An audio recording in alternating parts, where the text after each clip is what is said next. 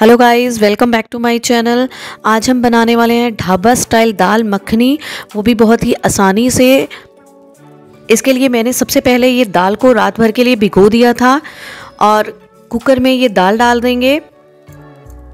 इसमें आठ गिलास पानी डाल देना है। और जो हमने डेढ़ चम्मच नमक लिया था, उसमें से एक चम्मच नमक डाल देंगे। आधी चम्मच लाल मिर्च डाल देंगे, आधी चम्मच हम तड़के के लिए रख लेंगे और आधी चम्मच ही नमक हम तड़के के लिए रख लेंगे। ये हल्दी भी आधी चम्मच ही डालनी है हमने, आधी चम्मच तड़के के लिए रखनी है। और गैस को ऑन कर देना है। और ढक्कन लगाकर आठ से नौ सीटियाँ लगवा लेंगे हम। ये देखिए, आठ से नौ सीटियाँ हो गई थी और दाल हमारी उबल चुकी है बहुत ही अच्छे तरीके से। अब जो सबसे मेन काम करना है हमने, वो हमने दाल को घोटना है।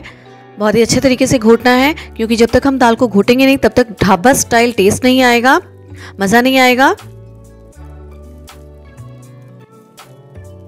ये देखिए, हमारी दाल घुट चुकी है, बहुत ही अच्छे तरीके से, और बहुत ही गाढ़ी हो चुकी है।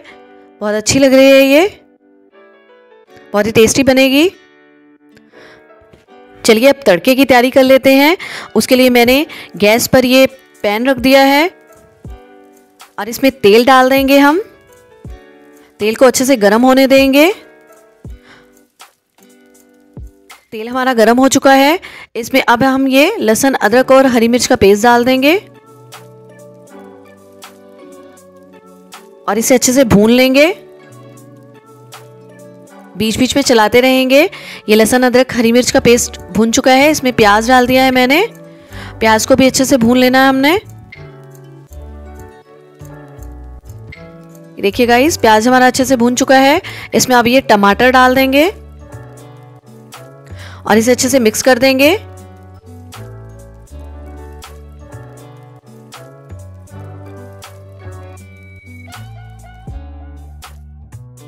ये हमारी दाल ढाबे से भी ज़्यादा टेस्टी बनेगी। अब इसमें हम मसाले ऐड कर देंगे।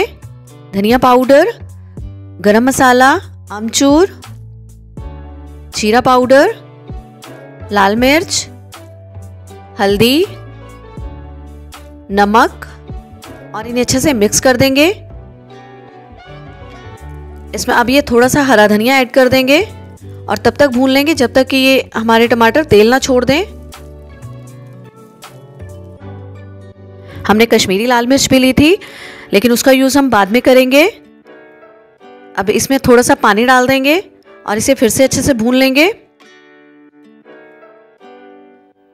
ये देखिएगा इस मसाला हमारा भून चुका है और तेल भी छोड़ दिया है, गैस को ऑफ़ कर देंगे।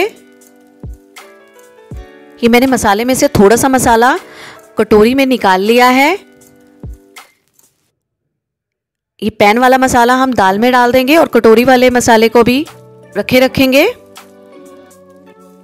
इसमें अब यहाँ हम ये मलाई डाल देंगे। आप चाहें तो फ्रेश क्रीम भी डाल सकते हैं। इसे फिर से घोटना है हमें दाल को।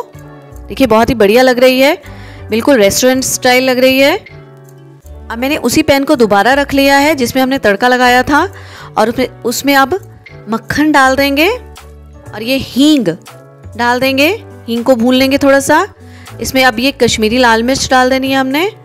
और जो एक कटोरी मसाला हमने बचा के रखा था, उसे भी डाल देंगे। इसे पाँच से छः सेकंड के लिए अच्छे से भून लेंगे। ये देखिए, बहुत ही बढ़िया कलर आया है। बहुत ही लाजवाब बनने वाली हमारी दाल।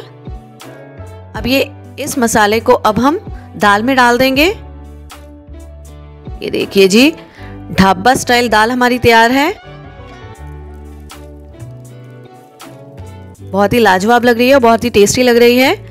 ये रेसिपी पसंद आए तो मेरे चैनल को ज़्यादा से ज़्यादा सब्सक्राइब करें और इस रेसिपी को ज़्यादा से ज़्यादा लाइक और शेयर करें ताकि मुझे मोटिवेशन मिल सके और मैं आगे अपनी और रेसिपीज़ आपके साथ शेयर कर सकूँ। नीचे दिए गए बेल आइकन को ज़रूर दबा दीजिएगा जिससे कि मेरी आने वाली हर रेसिपी की वीडियो आप तक पहुँच सके।